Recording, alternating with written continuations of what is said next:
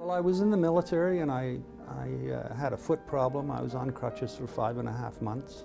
And uh, they sent me out in the field with crutches. Uh, and that sort of really kicked me in the rear end and, and said, what am I doing here, you know? And I got depressed. And then it really hit me. Um, I was uh, on the mend, but I was feeling really bad for so long that I just crashed. And uh, I ended up at NDMC in the, in the military hospital in the psychiatric ward. And that's when it all started. I withdrew completely. Um, I had numerous uh, suicide attempts. Um, and I just didn't want to partake in anything. It was uh, really difficult to get up in the morning, which I didn't get up for many times, many months. Once I got out of the forces, um, I, I, came to the Royal um, and I met some wonderful professionals. They teach, taught me uh, cognitive behavioral therapy, relaxation, um, and in recent years they, I've gone to the WRAP groups, which is Wellness Recovery Action Plan group. Um, I've just gone to social groups just to learn how to communicate, um, which I lost completely. I never answered the phone when I was sick.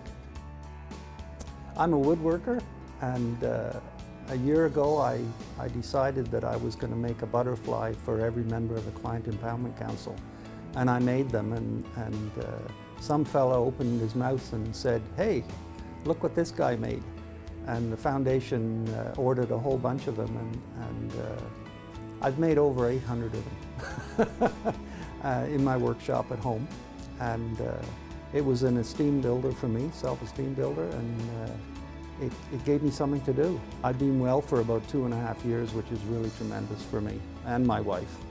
And uh, now I can support my family 100% instead of minus five.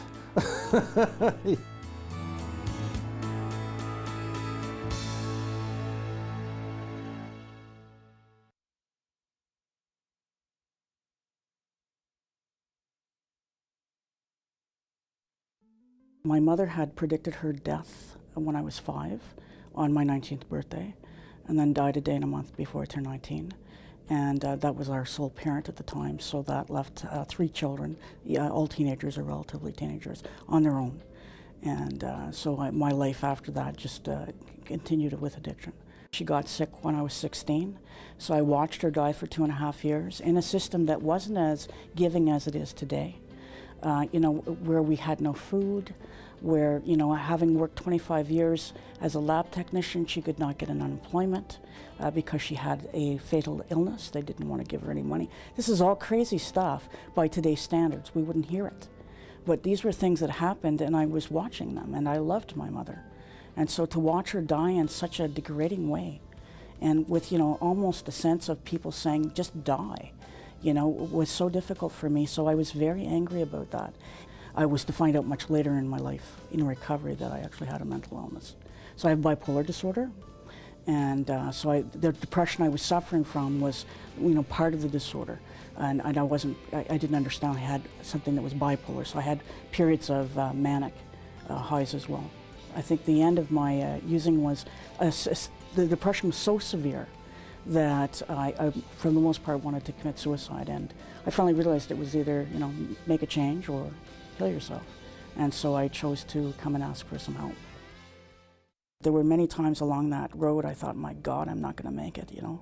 I am not going to survive this because it's way too painful and I don't know how to deal with it. But I, when I hung in there, I thank God I hung in there.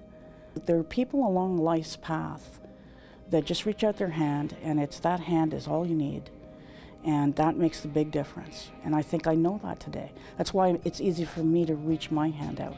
Why wouldn't I? So many people did it for me. I sponsor five people myself, which is a fair amount of work. You know, so I do work with them. I, I they are on the phone with me on a regular basis. I also uh, co-facilitate two SMART recovery groups, which are, uh, are uh, rational emotive behavioral therapy uh, oriented groups, uh, which are self-help groups as well, so I, I do that work. And then I work in the field, so I work in the field of addictions.